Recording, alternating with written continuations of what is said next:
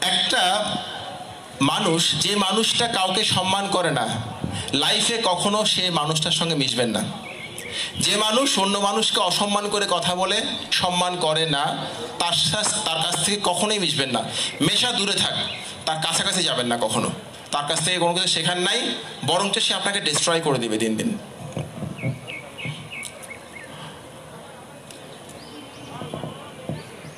যে মানুষটা, দেখবেন আপনাদেরকে কিছু মানুষ মনে করে, তাকে ফোন করলেই পাওয়া যাবে। সে ফোন করলে চলে আসবে। যে মানুষটা আপনাকে সহজলভ্য মনে করে, সহজলভ্য, এবং আপনাকে হালকা মনে করে, হালকাভাবে নেয় ডাইরেক্টলি নেয়, সে মানুষটাকে ফেস করার সময় নিজের সবটুকু যোগ্যতা এবং শক্তি দিয়ে এমনভাবে ফেস করবেন, যাতে পরের বার আপনার সাথে কথা বলার সময় সে চিন্তা করে কথা বলে। আপনার লাইফে কখনো এক ধরনের মানুষের কথা ভুলবেন না। আমৃত্যু, যারা আপনাকে কোনো না কোনো সময় আপনার উপকার করেছে। কারণ উপকার করার মানুষ কিন্তু পাওয়া যায় না। আমরা সবাই হয় নিস্পৃহ থাকি, কোনো মতামত দিই না, কাউকে হেল্পও করি না, ক্ষতিও করি না, অথবা ক্ষতি করি। যারা হেল্প করে, মনে রাখবেন তারা হচ্ছে পৃথিবীতে অ্যাঞ্জেল অ্যাঞ্জেল বোঝেন? দেবদূত দেবদূত ফেরেস্তা তারা হচ্ছে অ্যাঞ্জেল। তাদেরকে লাইফে কখনো ভুলবেন না। সবসময় মনে রাখবেন। যে মানুষের মধ্যে কৃতজ্ঞতা বোধ নাই, তার পক্ষে বড় হওয়া অসম্ভব। এটা অনেক বড় একটা গুণ কৃতজ্ঞতা বোধ মনে রাখা, কারা আমার উপকার করেছিল, কারা দুঃসময়ে আমার পাশে ছিল, তাদেরকে আমৃত্যু মনে রাখতে হবে।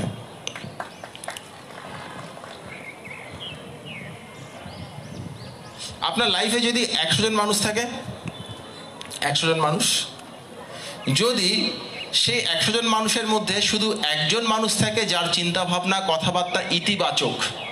আপনি শুধু তাকেই লাইফে রাখেন। বাকি নিরানব্বই জনকে লাইফ থেকে ডিলিট করে দেন। নেতিবাচক মানুষ আপনার চলার পথকে সীমিত করে দিবে। তার কাছ থেকে কোনো কিছু পাওয়ার নেই, নেওয়ার নেই, কিছু নাই। তাদের থেকে নিজেকে দূরে রাখেন। আমি মনে করি একশোটা ফালতু বন্ধু থাকার থেকে, একশোটা বাজে বন্ধু থাকার থেকে একটা ভালো বন্ধু থাকা অনেক ভালো। এটা একটু মাথায় রাখবেন। প্রায় সময় আপনার নিজের সাথে কথা বলার চেষ্টা করেন। নিজেকে জিজ্ঞেস করেন, আপনি কি চান? আপনি আজকে কি কি করলেন? আপনার মন কি বলে? এই ব্যাপারগুলো নিজেকে জিজ্ঞেস করার চেষ্টা করেন। অর্থাৎ অন্য কারোর সঙ্গে সময় কাটানোর চাইতে ভালো হচ্ছে নিজেকে নিয়ে সময় কাটানো।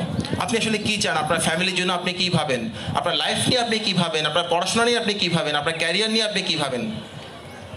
দুনিয়ায় যেই যাই বলুক না কেন, সবচাইতে ভালো উত্তরটা দেয় নিজের মন।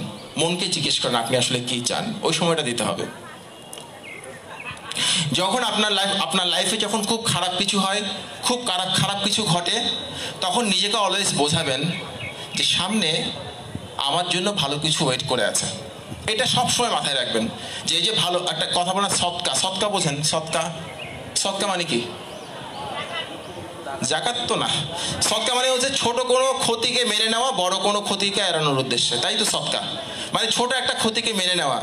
ধরেন আমি যখন ছোট ছিলাম, তখন ওই মন্দিরে গেলে যখন জুতা হারাতো, তখন আমার মা বলতো, ভালো হয়েছে হারাইছে। কেন ভালো হয়েছে কেন? বলে, বড় কোনো বিপদ ছিল, ওটা থেকে বেঁচে গেছিস। হয়তো বা সেটা একটা সান্ত্বনা, হইতে পারে। কিন্তু ওইটুকু চিন্তা আমাকে দীর্ঘদিন, দীর্ঘ সময়, বহু সময় ভালো রাখছে। এবং ভালো রাখছে বিধায় আমি আমার কাজটা করতে পারছি। আপনার মন যদি খারাপ থাকে, আপনার পক্ষে ভালো কিছু করা সম্ভব না পারফর্ম করা সম্ভব না। দিনের শেষে আমাদের সবাইকে বেঁচে থাকতে হয়। সো মন খারাপ করে যদি বেঁচে থাকি, তাহলে ওই দিনটাও বাজে হবে, পরের দিনটাও বাজে হবে। ওই জন্য যখন লাইফে কোনো কিছু একটা ক্ষতি হবে, তখন নিজেকে বোঝাবেন হয়তো বা আপনার জন্য ভালো কিছু ওয়েট করে আছে। ওই জন্যই আজকে খারাপ হলো। যখন কেউ চলে যাবে লাইফ থেকে, তখন ভালো কেউ আসবে লাইফে অসুবিধে কি? যাক যাক যাক যাক। আচ্ছা। লাইফে সবচেয়ে গুরুত্বপূর্ণ হলো নিজেকে ভালোবাসা। যে মানুষটা নিজেকে ভালোবাসতে পারে না, তার পক্ষে আমি মনে করি পৃথিবীর কাউকে ভালোবাসা সম্ভব না। সো কারোর সাথে মেশার সময় দেখবেন সে নিজেকে ভালোবাসে কিনা। তার মধ্যে ওইটুকু সেন্স আছে কিনা যে নিজেকে ডেভেলপ করছে কিনা, নিজেকে সময় দেয় কিনা। নিজেকে যে ভালোবাসে না, তার পক্ষে ভালো কিছু করা সম্ভব না।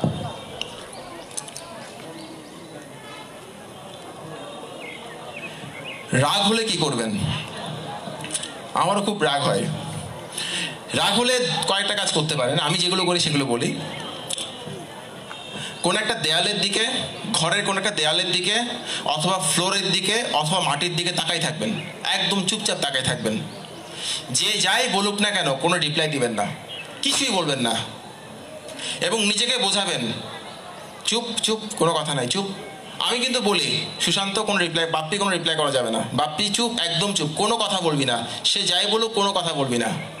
যদি তা না পারেন, দরকার হলে ওই ব্যক্তি যে রুমে আছেন, আপনি অন্য কোনো রুমে চলে যান, পাশের রুমে চলে যান। তার সাথে কথা বলবেন না। রাগ হলে একদম চুপ করে থাকতে হবে, একদম চুপ, কোনো কথা নাই। চুপ করে থাকলে কিন্তু রাগ চলে যায়। আপনারা কি প্র্যাকটিসটা করছেন? একদম চুপ করে থাকবেন। আপনি যদি রেগেও যাচ্ছেন, ঘুষিও মারতেছেন, তাহলে তো রাগ কমবে না, রাগ আরও বাড়বে। রাগ কিন্তু বাড়ে ক্রমশ বাড়ে ক্রমশ।